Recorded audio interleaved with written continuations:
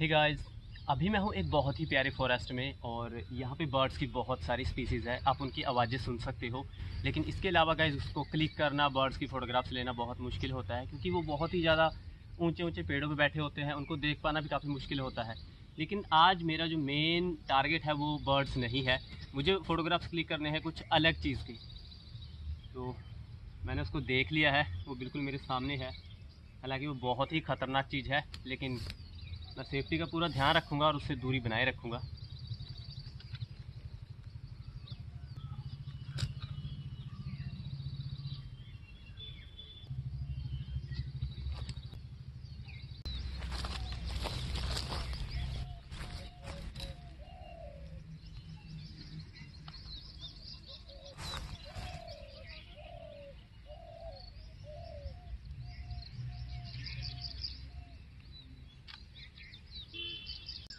Guys अगर आप देखोगे, वहाँ सामने मधुमक्खियों का एक छत्ता है। मैं अच्छी खासी दूरी पे हूँ और मुझे चाहिए कुछ अच्छे फ़ोटोग्राफ्स यहाँ पे देखिए, सामने एक कोयल भी बोल रही है।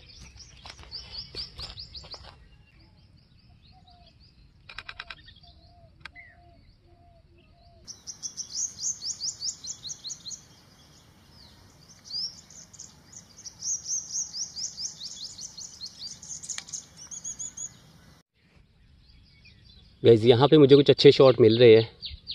ये देखिए, बहुत बड़ा मधुमक्खू का छत्ता है। सुबह का टाइम है और ज़्यादा धूप भी नहीं है। ऐसे में ये शांत है।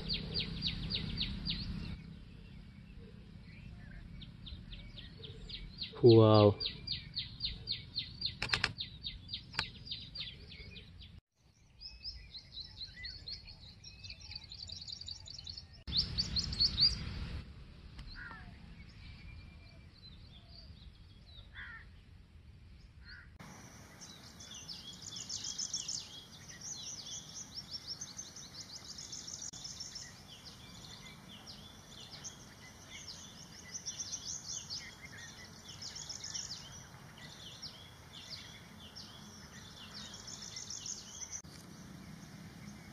गैस इस छत्ते के एक तरफ़ कुछ ज़्यादा एक्टिविटी चल रही है।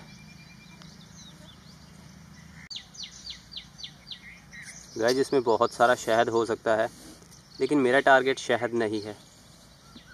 अगर हम बात करें मधुमक्खियों की लाइफस्टाइल की तो देखिए इनमें एक रानी मक्खी होगी। ये सभी मक्खियाँ उन्हीं को फॉलो करती हैं। इनमें कुछ ड्रोन है और वर्कर्स है, और अगर एक बूंद शहद की इकट्ठा करनी हो तो माना जाता है कि एक मधुमक्खी को लाखों फूलों पे जाना पड़ता है। और शहद की प्रक्रिया क्या है कि आपको मालूम है? देखिए, शहद जो है, फूलों का नेक्टर मधुमक्खियाँ इकट्ठा करती हैं, उनमें थोड़ा सा पानी मिलाती हैं और उनको खा लेती है, फिर उगलती हैं, फिर खाती हैं। ऐसे में जब तक उनका पूरा का पूरा पानी वो ख़त्म नहीं हो जाता, तब तक इसी प्रक्रिया को किया जाता है और लास्ट में जो बनता है गाइज़ वही शहद होता है। तो जैसे फूलों का नेक्टर इकट्ठा करते हैं तो डायरेक्ट वो शहद नहीं होता, वो एक प्रोसेस में चलता है काम। तो उसको निगल लिया जाता है, फिर उगल दिया जाता है, खा लिया जाता है, उगल दिया जाता है तो ऐसे में लास्ट में जो बचता है, वही शहद होता है।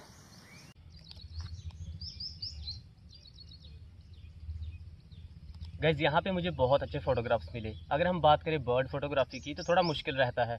बर्ड्स कभी एक जगह पे नहीं रुकते फ्लाइंग बर्ड्स की फ़ोटोग्राफ्स करना मुश्किल होता है, लेकिन यहाँ पे मुझे मनचाहे शॉट मिले, लेकिन थोड़ा रिस्की था, लेकिन मैंने दूरी बनाए रखी और मुझे कुछ मिले परफेक्ट शॉट अब मुझे इनमें से किसी एक फ़ोटो को प्रिंट करना है। अब देखते हैं कि कौन सी फ़ोटो को मुझे प्रिंट करना है।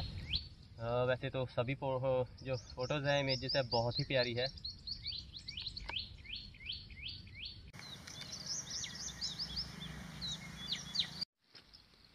यहाँ पे गाइज़ फ़ोटो सैंपल बहुत ही अच्छे हैं, क्योंकि जो मधुमक्खियाँ हैं, उनके मन चाहे आप शॉट ले सकते हो। अगर आप पर्याप्त दूरी बनाए रखते हो तो आपको ज़्यादा ख़तरा भी नहीं रहेगा। तो यहाँ पे मुझे बहुत अच्छे कुछ फ़ोटोग्राफ्स मिले। बहुत अच्छे ये डिटेल शॉट है और यहाँ से मुझे कोई एक फ़ोटो सेलेक्ट करनी है और उसको मुझे प्रिंट करना है। तो प्रिंट के लिए भी गाइज़ मेरे पास काफ़ी सारे ऑप्शन है। तो यहाँ पे ये देखिए कुछ बेसिक सैंपल है और इन्हीं में से मैं किसी एक फ़ोटो को प्रिंट करूँगा।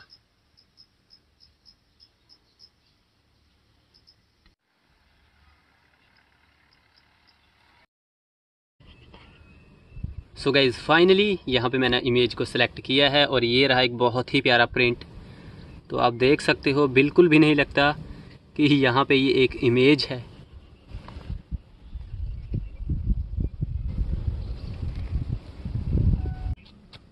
गैस यहाँ पे सभी फ़ोटो बहुत प्यारी थी, लेकिन मैंने प्रिंट किया ये देखिए, इस फ़ोटो को।